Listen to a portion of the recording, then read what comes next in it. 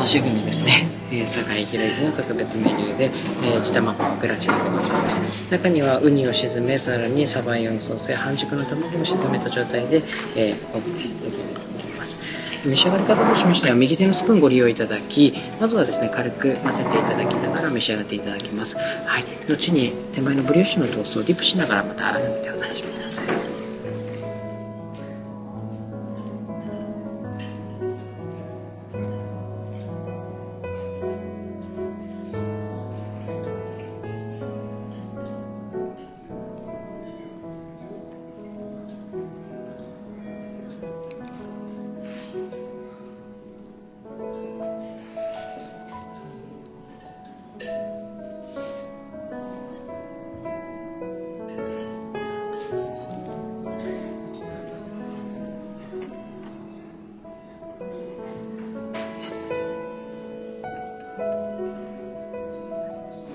桜のチップの焦げの煙をとどめましてキッチンからここまでの30秒間の瞬間燻製をかける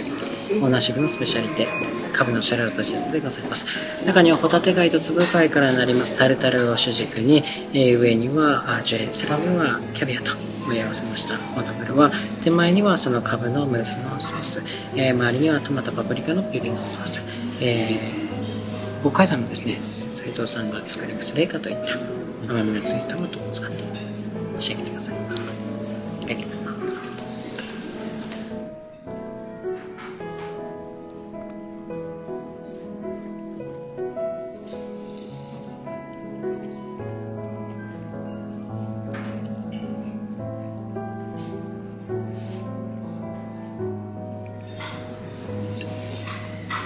温泉菜でございます。北海道産のエゾアワビを使いまして酒やお大根などで柔らかく蒸し上げました。後に網焼きにいたしましてえ上にはレンコンをチップにしたものと。また下には大ぶりのですねマッシュルームをソテーにしましてブルーノンセットの焦がしバターソースや周りにライムのフレーバーの泡立ったソースでお楽しみいただきます。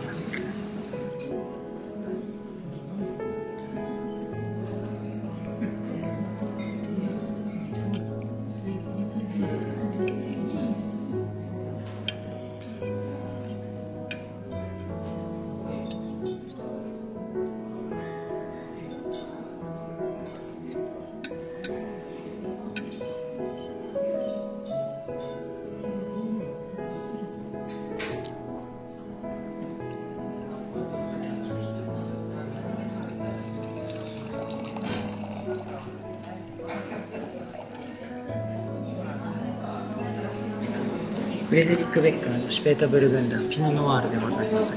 あの非常に例年の地域でも味わいの濃縮感を持たせるのが作り手の特徴的なところですね。はい。魚にズッキーニを薄くスライスして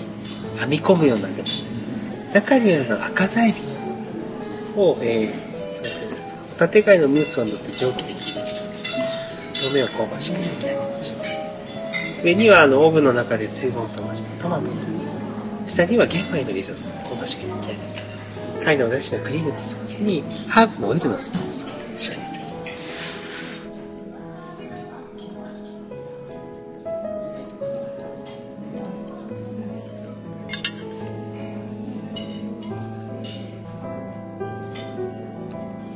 まずここでちょっと一旦お口直しライムの油。にト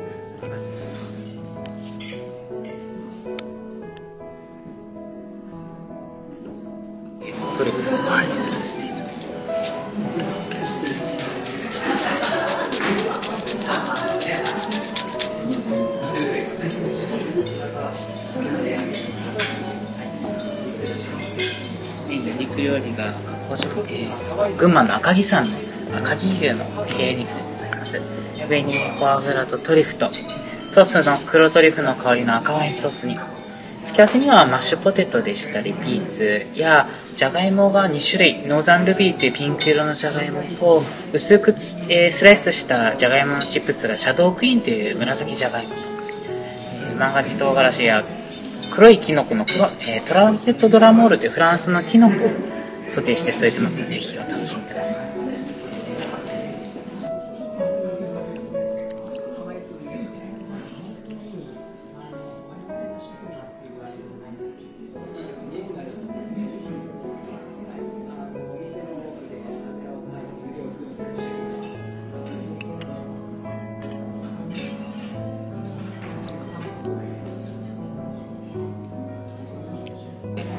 ランベの方をさせていただきます。付け合わせにチョコレートのヌガティーヌショコラと、えーバニラアイスクリーム自家製のバニラアイスクリーム添えた一品となっております。では始めていきます。まず最初ソースの方を温めてまいります。もともとオーナーの酒井があの渋谷の本店でやってた時は秋の季節になりますと洋梨が出てきますので丸ごと洋梨をローストしたものをお客様の目の前でフランスにしてその当時使ってた銅鍋のフライパンがこちらの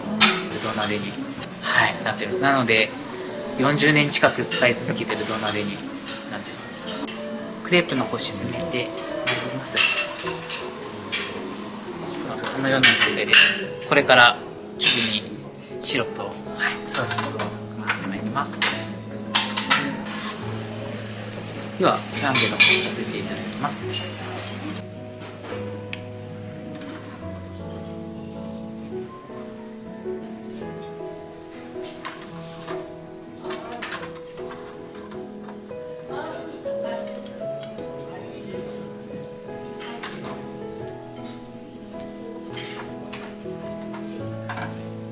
さらに香りがはい。この後。一緒に、えーフルーツの方も入れてまいります。